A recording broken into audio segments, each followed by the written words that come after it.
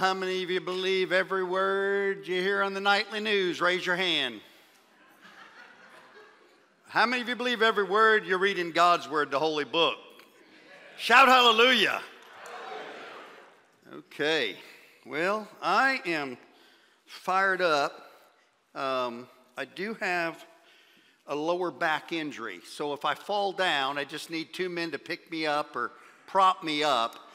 But the, the old body's kind of wearing out, I guess. But isn't it neat to know? Isn't it awesome to know as Christians this is just a tabernacle or a temporary tent, and one day we'll get a glorified body? How many of you can say hallelujah for that? All right. So, uh, men, I am so proud of you. I was thinking 30, 35 men yesterday would show up for the men's prayer breakfast and eat way too much cholesterol and all of that and then skeet shoot. Oh my word, 49 men yesterday. Congregation, isn't that a praise the Lord? And we did, we did pray. And uh, God had put on my heart just a brief word for the men, and they were so responsive. I handed out kind of a cold down version of a scripture memory pack that I had made available to the men of this church. At the time, the church was probably half the size. Maybe a year and a half ago, maybe two years ago, I made a packet available. It had 52 references to be memorized, one passage a week. And uh, as I started surveying different men, um, there were only probably four or five of us that actually made it through that. And I thought, okay, if you think you're the leader, but you look behind you and nobody or very few are following you, you're just deluding yourselves. So I shared with the men, and they were excited about this. I've culled it down to 12 cards. One memory card, topically picked uh, to be relevant for men, one scripture card to be memorized and meditated on per month. So 12 cards. The men are going to be finding another man in the church to hold themselves accountable, to memorize, to meditate on those scriptures, to see life transformation. If you were not at the men's prayer breakfast, but you would like to get one of these packets, what I want you to do is put on your comment card, your guest card, your member card, whatever. Just write on there, I need a scripture memory packet. And uh, my wonderful uh, fellow elder, Hobie Miller, will put some more together. I think he put together 49, 50 of them. What if we put more together? Would we have had more men show up? Probably. So, oh, okay. Uh, I don't know about that, but put that, if you need one, put that down. We'd love for you to participate in that. Let me get a few of these items out in position. All right. All right, everybody, you have that Bible you believe in? Turn with me to uh, 1 Timothy 2. This is not the sermon passage, but it is a passage nonetheless I need us all to see right now. 1 Timothy chapter 2, the first four verses. Listen to this.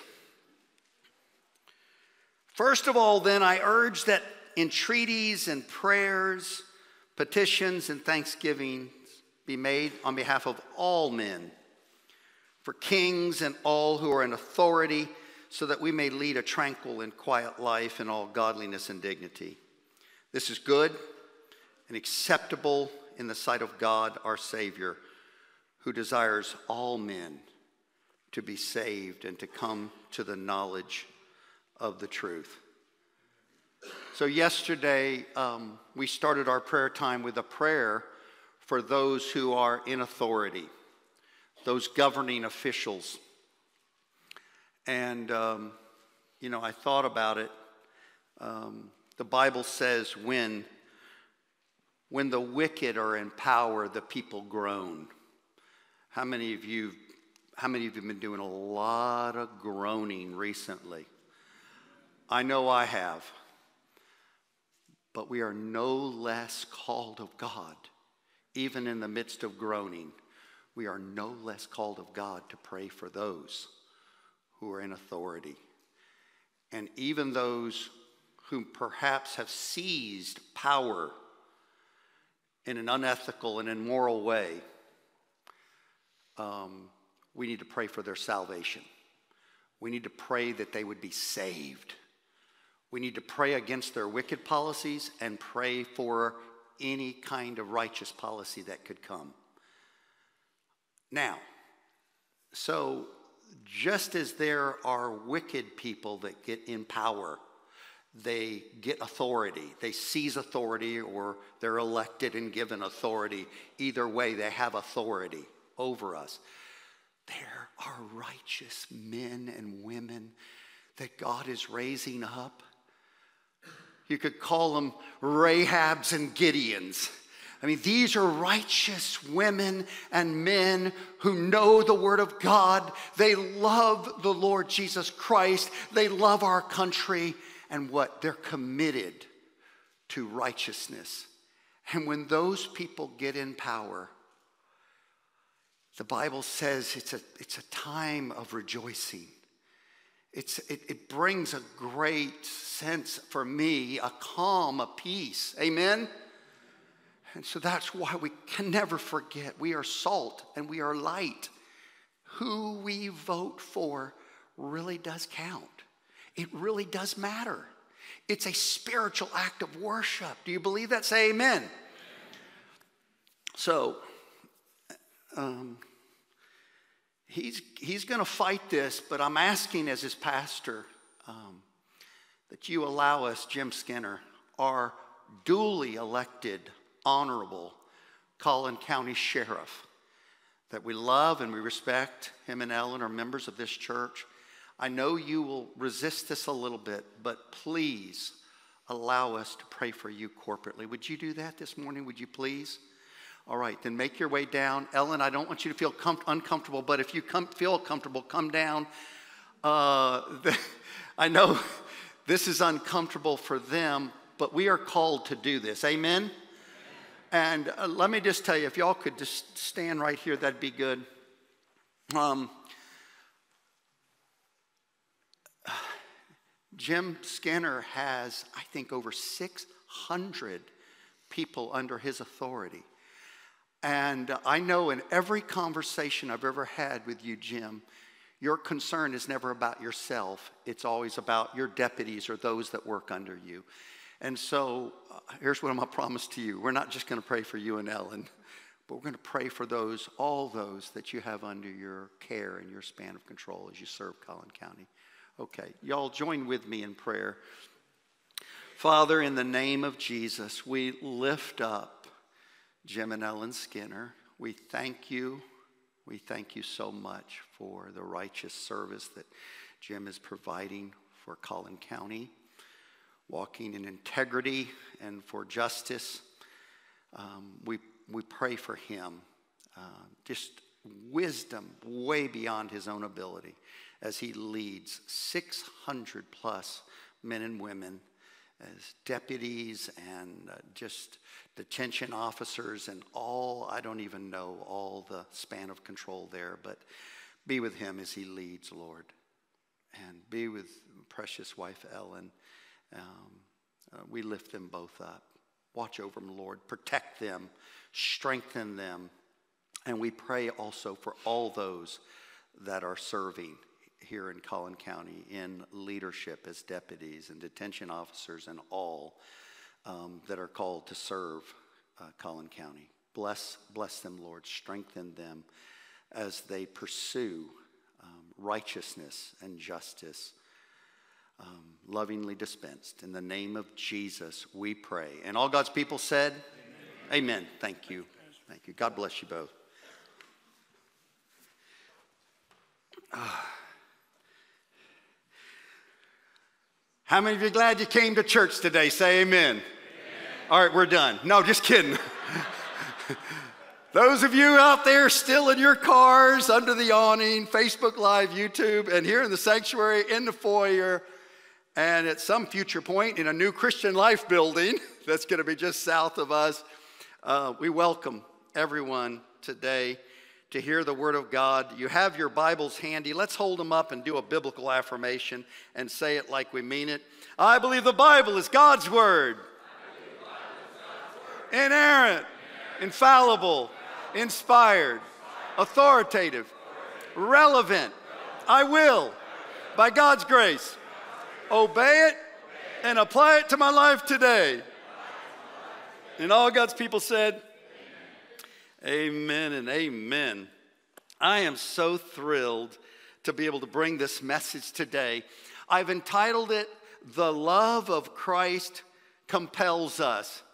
And, and, during this time when the world seems to be upside down, uh, it's good to be reminded of what the Christian's prime directive is.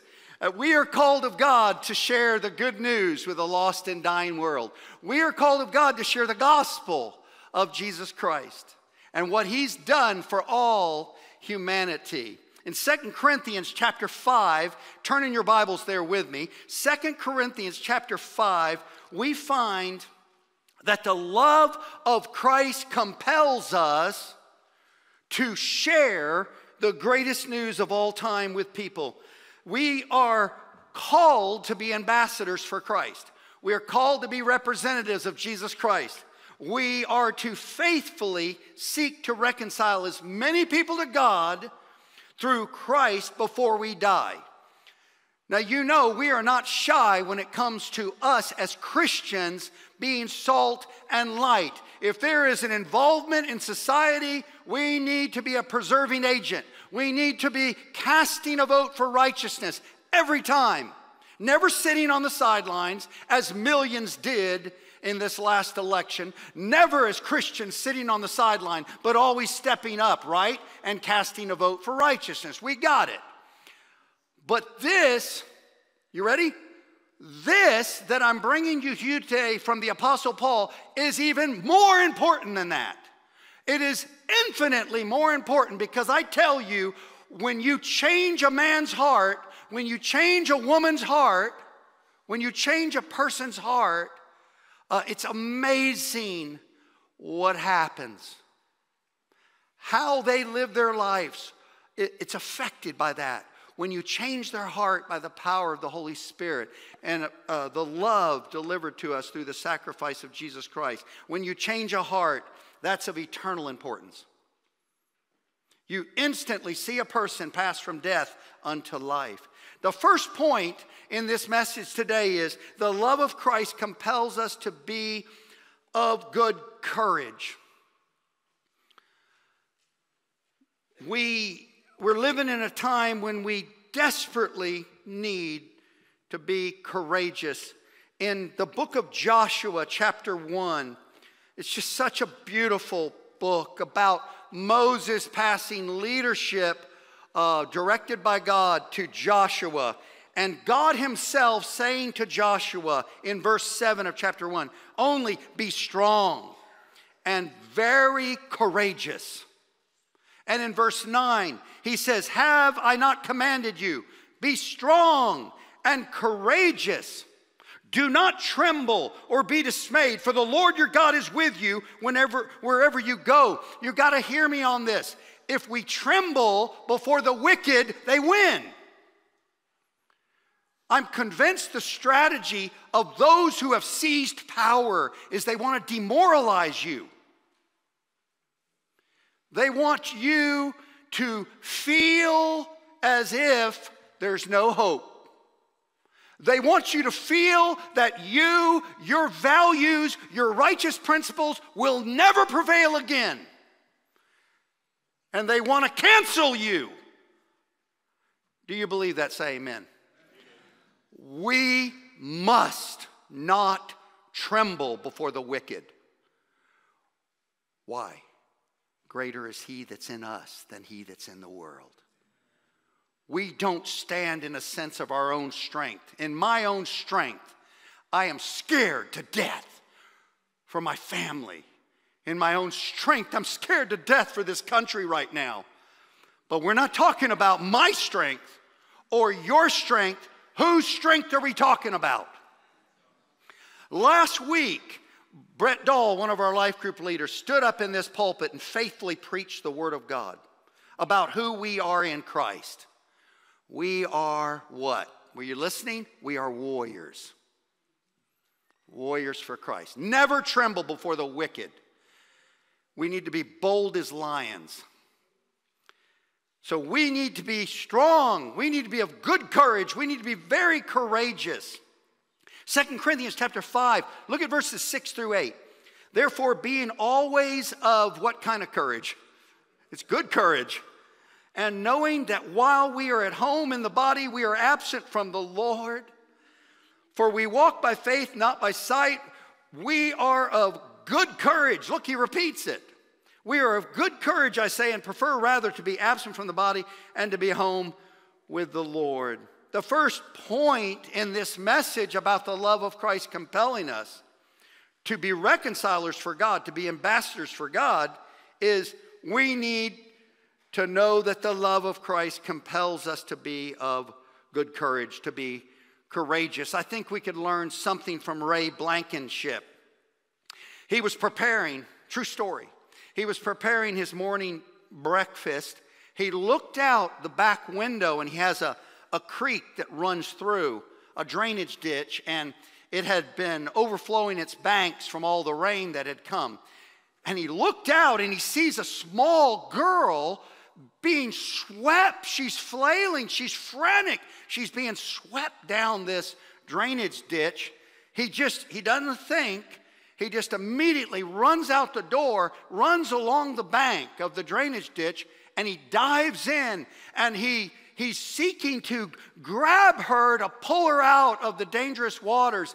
And, and finally, right before they were going to be sucked in a culvert that goes under a road, he was successful. He grabbed some sort of a rock and he was able to pull her out onto the bank to safety. And then he crawled out himself. In 1989, April 12th, Ray Blankenship was awarded the Silver life saving medal by the Coast Guard. This award was really fitting because Ray Blankenship can't swim.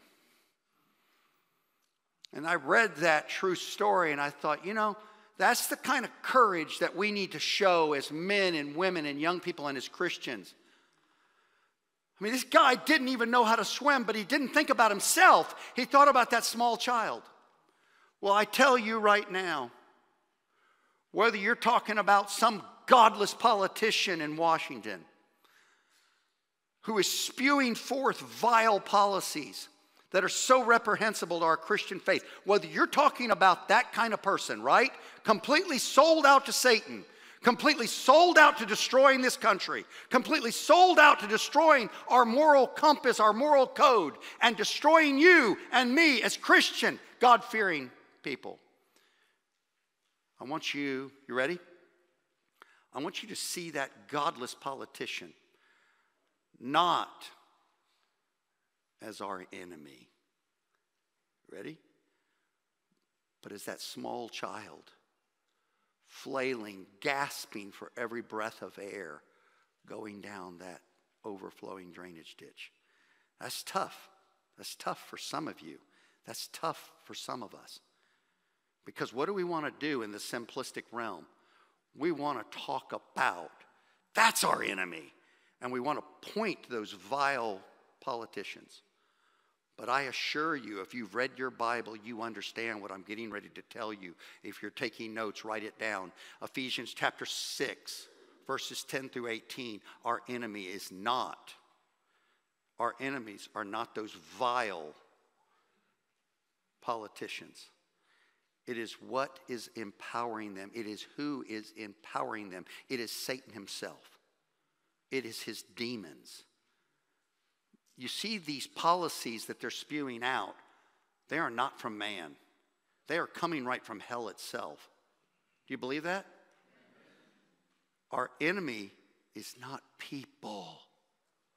We have to understand there's no place for hate of people in our Christian faith. Let's be clear no matter how much they try to reprocess and repaint things and respin things and create a false narrative about us Christians, true Christians are not haters.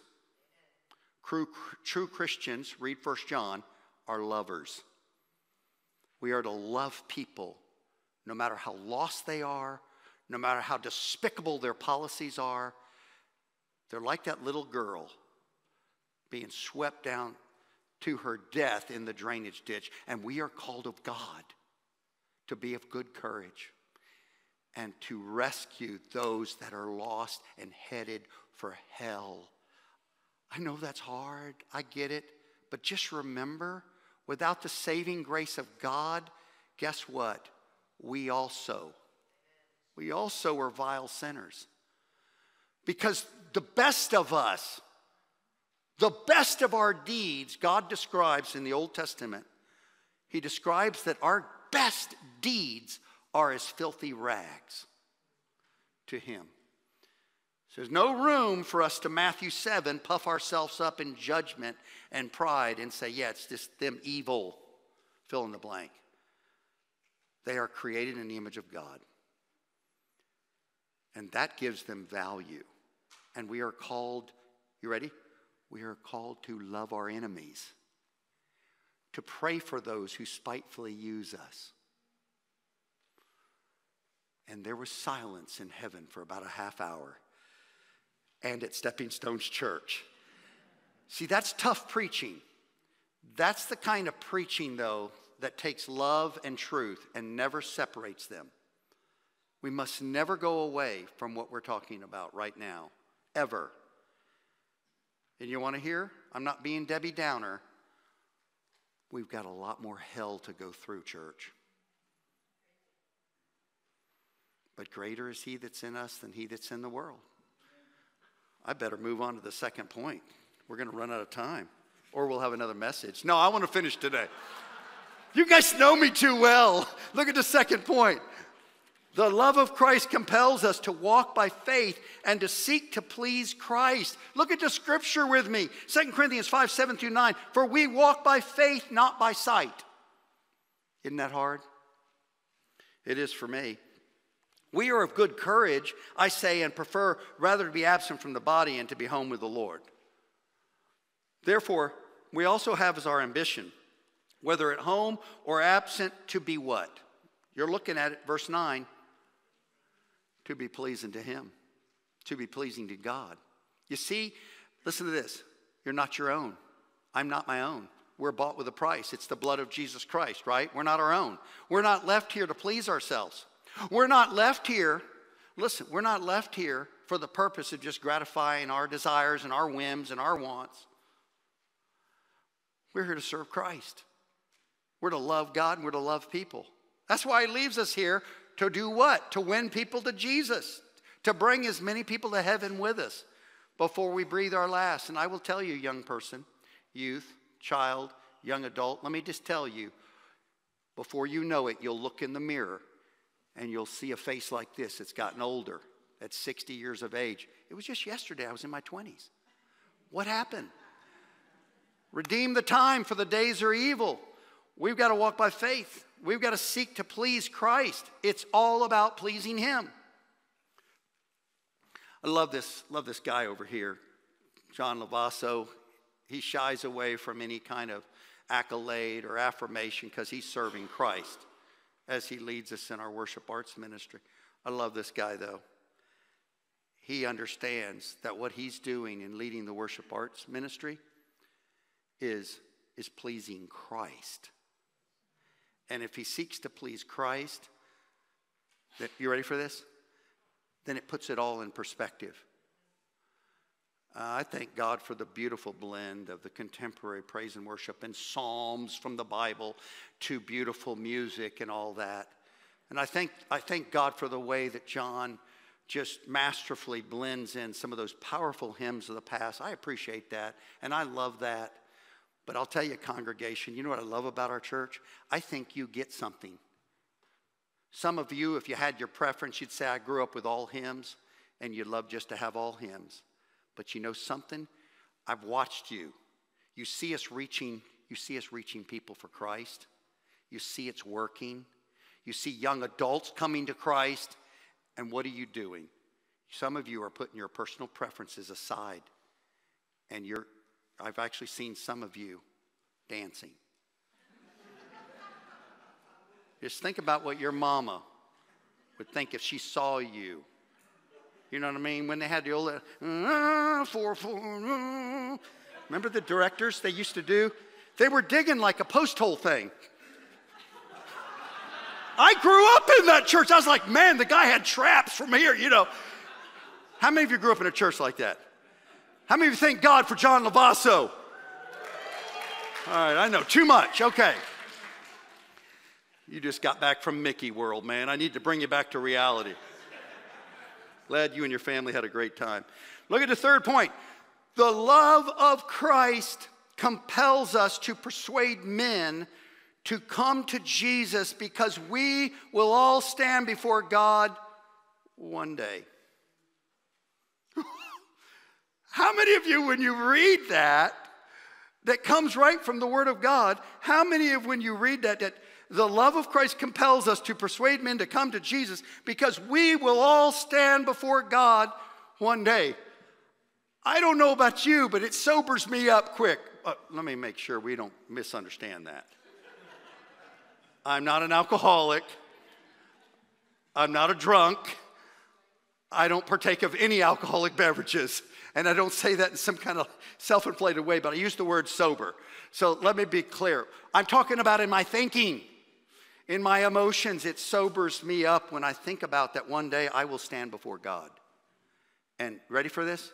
If you look at the reference there, verse 10 For we must all appear before the judgment seat of Christ, so that each one may be recompensed for his deeds in the body, according to what he has done, whether good or bad. Wait, wait. For we, how many of us must appear before God? All of us must appear before God. I must appear before God. And you know something? It doesn't matter that I'm a pastor. I'll go, oh, I'm a pastor. I got to appear before God. But let me point it back at you. You got to appear before God. Let me blow you away with a concept. But not just Christians appear before God, but the wicked will appear before God. That should motivate us and start compelling us to share the Lord with people. Ready? Regardless of their political affiliation, regardless of their gender confusion, regardless of anything other than the fact that we all must appear before Almighty God one day. And on that day, there's going to be a great accounting. And I think what I want to do is next week we're going to be we're going to be demonstrating our love for Christ because the love of Christ compels us. We're going to be going out to um, I don't know two two or three thousand homes, Trinity Falls and some other areas around here like we did before. How many of you did that with us last time? You remember, wasn't that great? We really enjoyed it. We had a really good time with this family right over here.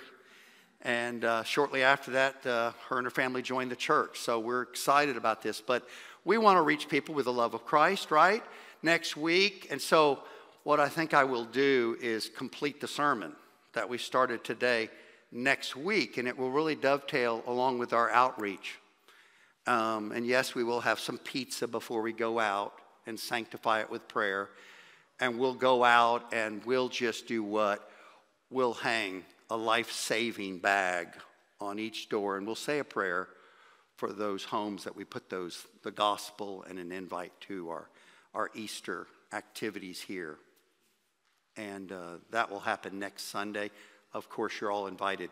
So I think what I'm going to do, instead of plowing through the material today, um, I want to conclude just with having started the third point. We'll pick it up again with further development of the third point. Bring your notes back, would you, next week so we can pick it up about the love of Christ compelling us. Let's have a moment of decision. Would you bow your heads with me? Uh, we always uh, invite, we extend two prongs to the invitation at our church, and one is for those that do not know the Lord Jesus Christ personally. That prong of the invitation is for those that are not sure that if they would die today, they would spend eternity with God in heaven. They're not sure about their eternal destiny. So if you're here today and you don't know for sure if you were to die today, you'd go to heaven, then I, we at this church, we want to appeal to you. We want to ask you to receive Christ. He loves you so much. Jesus Christ, the second member of the Godhead of the Trinity, left heaven, the riches of heaven, and took on the rags of humanity 2,000 years ago. He was born of the Blessed Virgin Mary that was definitely by divine intervention. He lived a perfect, sinless life in his, his thought life, in his actions. He never sinned. He was 100% God and 100% man, able to relate to us, walk in our shoes. He got tired like we get tired, but he did it. He lived the life without sin. And he did this for us because he loves us. And God demonstrated his love toward us in that while we were yet sinners, Christ died for us. Jesus was able to do something that none of us have been successful at, which is living a perfect life.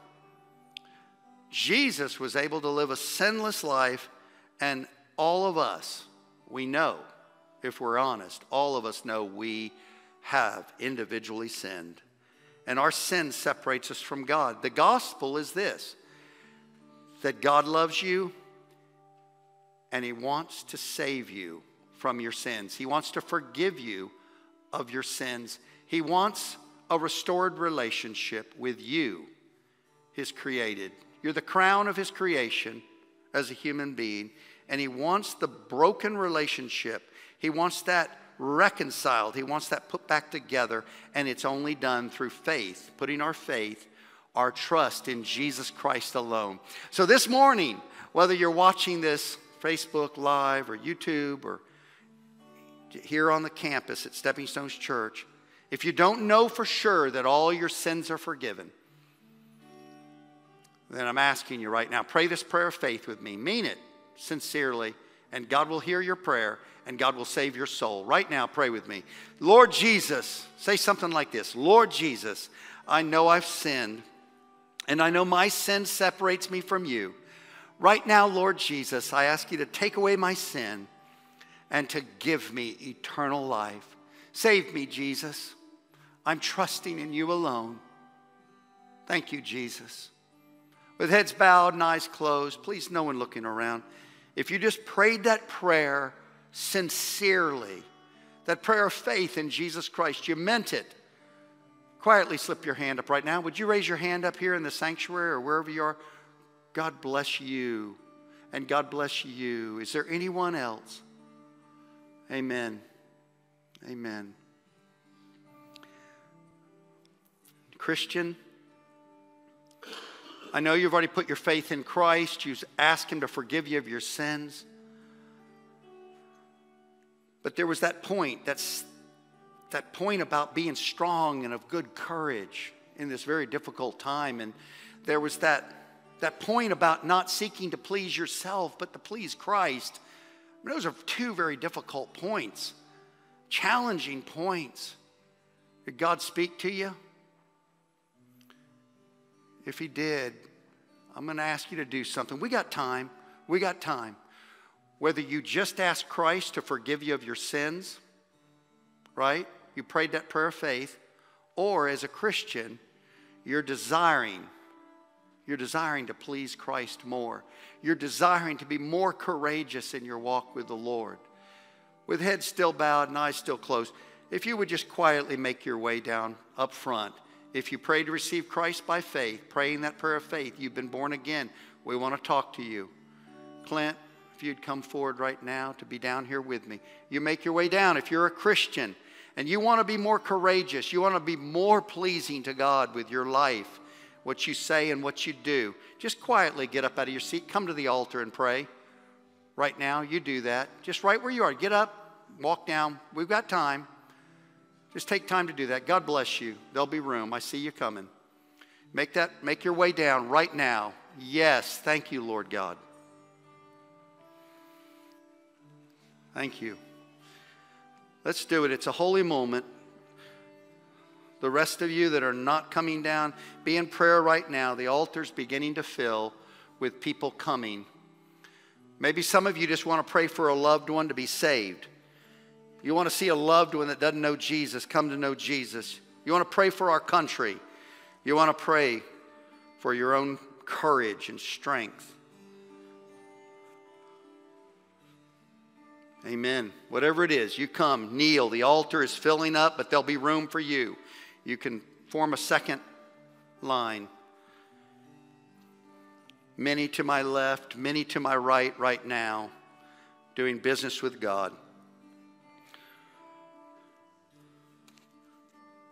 When Christians, when you finish your time of prayer with the Lord, don't, don't leave yet. I want to have a prayer for you, okay?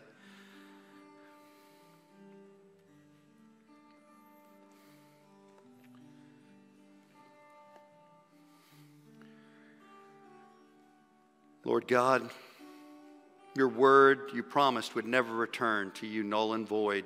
And we have seen the evidence of that today with this altar to my left and to my right filling up with people wanting to further surrender to you, wanting to please you even more. And Lord God, wanting to be more courageous in their walk with you, and perhaps those here praying for a loved one that there would be full surrender in their life to you. We know no one can come to you, God, unless the Spirit of God draws them. Lord God, continue to draw.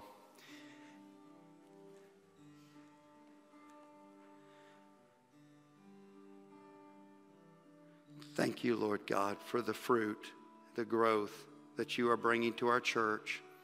Continue to grow us, Lord, spiritually and numerically. With all our hearts, we want to please you, we want to honor you. Give us the ability to balance mercy and truth, as you said in Proverbs 3, to never let that love and truth be separated, but always knit together in perfect harmony. Lord, I am so grateful for these that have come forward and humbled themselves before you. Bless them, Lord. Empower them. Give them everything they need as they're, they're humbling themselves before you and seeking you. They're seeking your face.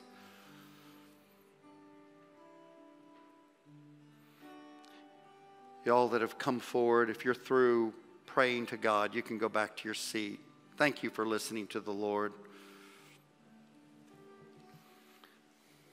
Glory to God.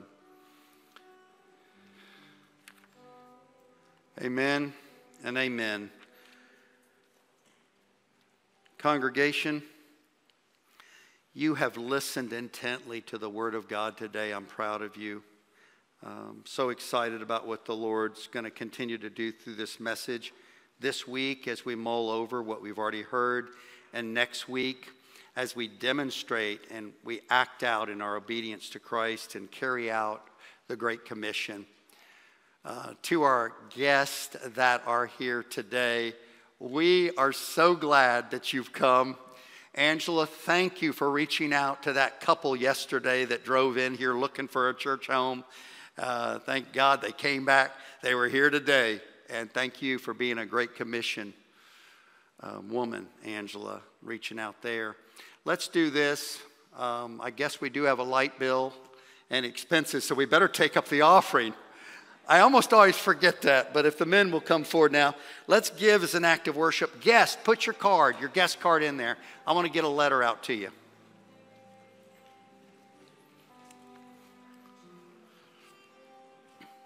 Y'all don't forget, the month of March is Miracle Sundays in March. We want to see as much of our three year pledges for the Christian Life Building, as much as we can give, come in this month we need that capital up front. Give as much as you can.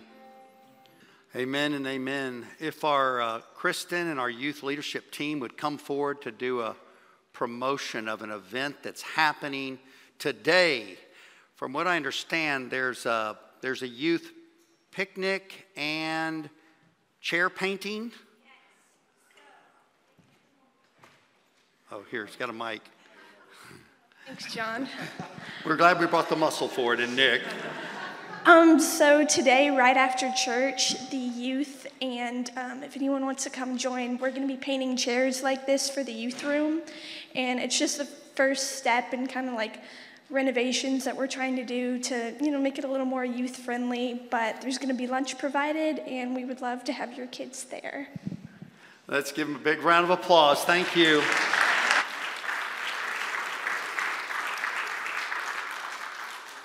Look in your worship folder, there's a lot going on, but I do want to make sure I covered the details for next Sunday. Enjoy a slice of pizza. Hang Jesus is our lifesaver outreach bags, inviting families to our Easter service. Easter is just right around the corner, by the way. Wear your good walking shoes next week. Uh, come help stuff the outreach bags with lifesavers this Wednesday at 10 a.m. It's pretty cool. It's a life saving gospel outreach, right?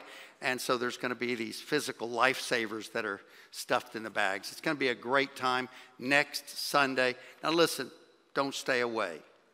Because, oh, I can't go. I can't go out on outreach. Don't do that.